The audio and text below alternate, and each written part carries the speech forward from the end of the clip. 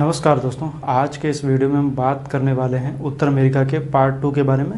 इस वीडियो में हम बात करेंगे उत्तर अमेरिका के अंतर्गत यूएसए में जब हम बात करेंगे तो देखेंगे यूएसए के पार्ट टू में हम बात करेंगे खनिज के क्षेत्रों की बात करेंगे और यहाँ के प्रमुख रेलवे की बात करेंगे, प्रमुख औद्योगिक क्षेत्रों की बात करेंगे, प्रमुख घाटियाँ, प्रमुख दर्रे, इन सब वीडियो को मैं लेकर के आया हूँ, इन सब टॉपिकों को मैं लेकर के इस वीडियो में लेकर के आप लोग देखिए इसको और ये आप मानचित्र, आप चाहें तो इसको बना लीजिए, बना लेंगे तो आपको समझने में आसानी हो जाएगी। तो आइए बात करते हैं। सबसे पहले हम बात करेंगे यहाँ के प्रमुख औद्योगिक क्षेत्रों की। औद्योगिक क्षेत्रों की बात करेंगे तो यहाँ पर हम औद्योगों, औद्योगिक क्षेत्रों की बात करेंगे तो एक का जो एरिया होता है, आप कह सकते हैं उत्तर पश्चिम का एरिया है, एक कह सकते हैं दक्षिण पश्चिम का एरिया है, या कहें तो आप सीधे सीधे कह सकते हैं पश्चिम का एरिया। इस तरफ़ आप देखेंगे तो दक्षिण पूर्व का एरिया है और आप देखेंगे ये वाला हिस्सा पूर्व का एरिया है। और ये ग्रेट लेक्स क्षेत्र है। इतने क्षेत्रों में इसको हम बांट सकते हैं। इन क्षेत्रों में बांटने की बात तो है, लेकिन अब बात करेंगे इनमें कौन कौन से क्षेत्र स्थित हैं।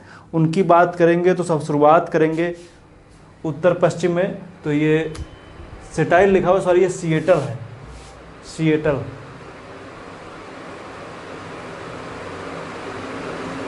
सिएटल सिएटल है।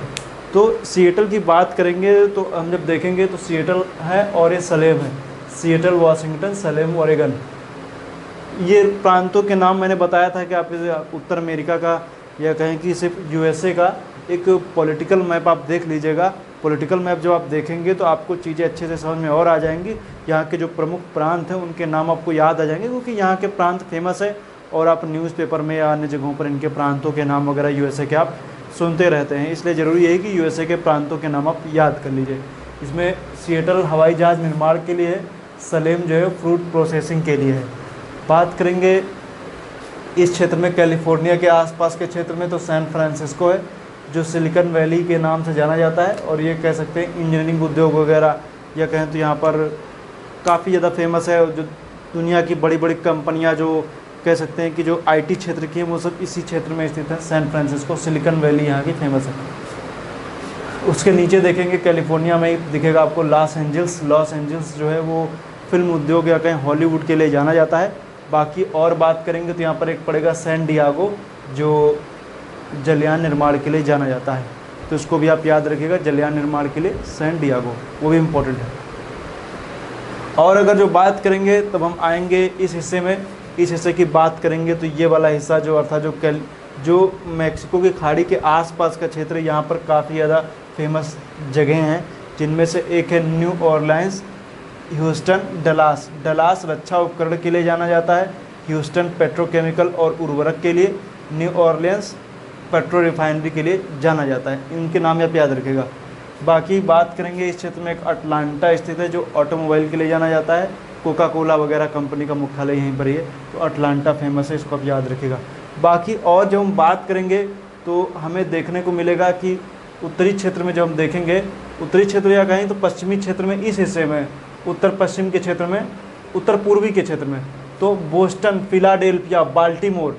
तो बोस्टन जो है वो जैव प्रौद्योगिकी फिलाडेल्फिया, तेल शोधन, बाल्टीमोर जलयान निर्माण और यहाँ का फ़ेमस है न्यूयॉर्क तो किसी एक चीज़ के लिए नहीं जाना जाता, बहुत सारी चीज़ें वहाँ पर होती हैं, इसलिए यहाँ का फ़ेमस वित्तीय राजधानी भी एक तरीके से न्यूयॉर्क न्यूयॉर्क सिटी को हम कह सकते हैं। तो न्यूयॉर्क फ़ेमस है, यहीं पर पड़ेगा, उसको याद रखिएगा न्यूयॉर्क को। मैनहैटन द्वीप है, उस पर स्थित है न्यूयॉर्क वो एक हडसन नदी है हडसन नदी जो है वो क्या करती है न्यूयॉर्क और न्यू जर्सी को अलग भी करती है, उसको भी आप याद रख सकते हैं। बाकी बात करेंगे ये जो एरिया ग्रेट लेक्स का है, इसमें देखेंगे तो Superior Huron Michigan Erie Ontario इतनी झीलें, लेकिन इसका हमें वीडियो नेक्स्ट वीडियो लेकर के आऊँगा, जिसमें इन सब झीलों के बारे में विस्तृत रूप से चर्चा करेंगे। इन झीलों के बीच में बहुत सारी नहरें स्थित हैं, बहुत कुछ नदियाँ स्थित हैं। इन झीलों के बीच में कुछ झीलें स्थित हैं, उनकी चर्चा करेंगे। इसके आसपास के प्रमुख शहरों की चर्चा करेंगे। और ये औद्योगिक रूप से यूएसए का सबसे इंपॉर्टेंट जो जगह इसके बारे में चर्चा करेंगे कि आखिर ये ऐसा क्यों है, उसके बारे में बात करेंगे। बोस्टन को आप इतिहास में पढ़ते हैं, बोस्टन टी पार्टी वगैरह, उसको आप जानते ही हैं, उसको भी आप याद रख सकते हैं।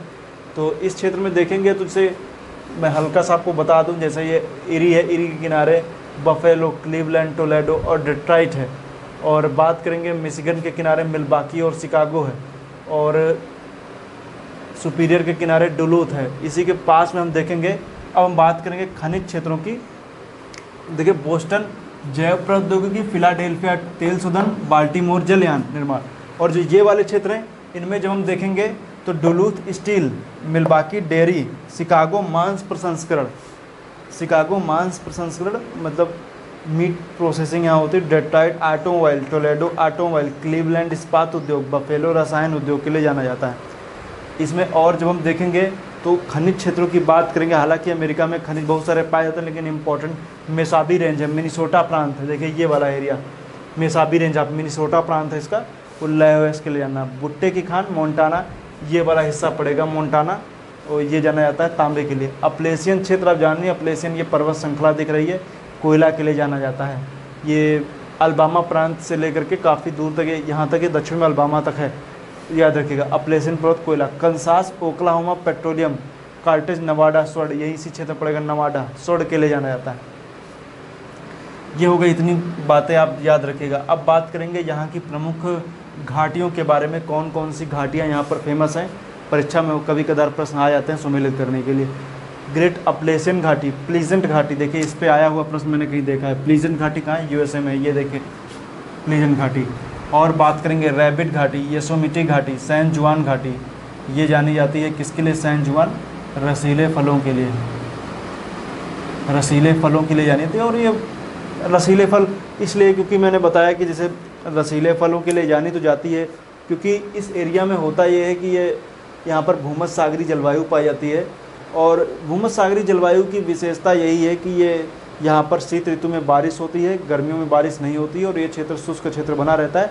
शीत ऋतु में बारिश की वजह से इस एरिया में रसीले फल मतलब खट्टे फल जो यहाँ पर होते हैं, वो काफ़ी ज़्यादा उगते हैं, जैसे नींबू हो गया, संतरा हो गया, अंगूर हो गया, ये सब चीज़ों के लिए जानी जाती है। यहाँ पर भी आप देखेंगे तो जो खट्टे फलों जो होते हैं वो सर्दियों के टाइम पे आप देखेंगे तो जैसे मान लीजिए दिसंबर की जब बारिश होती है अपने इधर क्षेत्रों में तो उत्तर भारत की मैं बात कर रहा हूँ तो यहाँ पर देखें तो रसीले फल खूब होते हैं। जैसे इस साल की बात करेंगे तो शीत ऋतु में बारिश ना होने की वजह से आप नींबू के भाव अगर आप देख रहे हैं, किस तरीके से चढ़ गए थे, क्योंकि शीत ऋतु में बारिश नहीं हुई, नींबू की पैदावार हुई नहीं नींबू की पैदावार नहीं होने की वजह से नींबू का रेट आप देख रहे थे, काफ़ी बढ़ गए थे।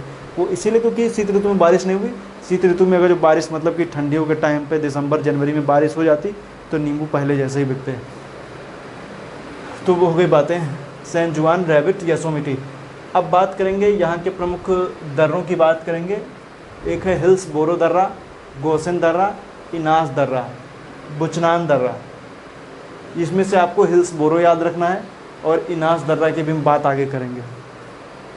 अब यहाँ पर और बात करेंगे तो इस क्षेत्र में हमें देखने को मिलता है रेल मार्ग की बात करेंगे। रेल मार्ग की बात करेंगे तो यहाँ पर दो रेल मार्ग फ़ेमस हैं, एक है दक्षिणी ट्रांस महाद्वीपीय रेल मार्ग, जो न्यू ऑर्लियंस से लेकर के सैन फ्रांसिस्को तक जाता है। इसको आप याद रखेगा। दूसरा है सेंट्रल पैसिफिक रेल मार्ग, जो सैन फ्रांसिस्को से न्यूयॉर्क तक जाता है। तो याद है, इसी सैन फ्रांसिस्को से जो न्यूयॉर्क के बीच में सेंट्रल पैसिफिक रेल मार्ग जो जा रहा है, इसी पर इनास दर्रा स्थित है। इनास दर्रा इसी पर स्थित है। उसको भी याद रखेगा इनास दर्रा एक कुछ है, इतना दिमाग में रखिएगा कि कुछ इनास दर्रा नाम की कोई जगह यूएसए में है। हालाँकि हिल्स बोरो इम्पोर्टेंट है, इससे प्रश्न हो सकता कभी पूछ ही लिया जाए तो हिल्स बोरो आप याद रखेगा गोसन उतना इम्पोर्टेंट नहीं है, लेकिन आप हिल्स बोरो याद रखेगा बाकी बुचनान भी कोई इंपॉर्टेंट नहीं, घाटियाँ, लेकिन यसोमिटी, रैबिट, सैन जुआन और ग्रेट अपलेसन प्लीजेंट घाटी तो रिपीटेड ही है, उसको आप याद रखेंगे, ही हो सकता कहीं प्रश्न आ ही जाए। तो उम्मीद करता हूँ वीडियो आपको अच्छा लगा। जो नेक्स्ट वीडियो होगा, उसमें हम बात करेंगे ग्रेट लेक्स क्षेत्रों के बारे में। देखेंगे कि आखिर ग्रेट लेक्स क्षेत्र, औद्योगिक क्षेत्र के आसपास कौन कौन सी झीलें हैं कौन कौन से शहर हैं कौन कौन सी नहरें हैं कौन कौन सी नदियाँ हैं। नियागरा जलपात की बात करेंगे, जो उरी और ओंटारियो के बीच में स्थित है। तो नियागरा जलप्रपात की भी चर्चा होगी। तो आज के लिए इतना ही। उम्मीद करता हूँ वीडियो अच्छा लगा है। वीडियो देखने के लिए आपका बहुत बहुत धन्यवाद।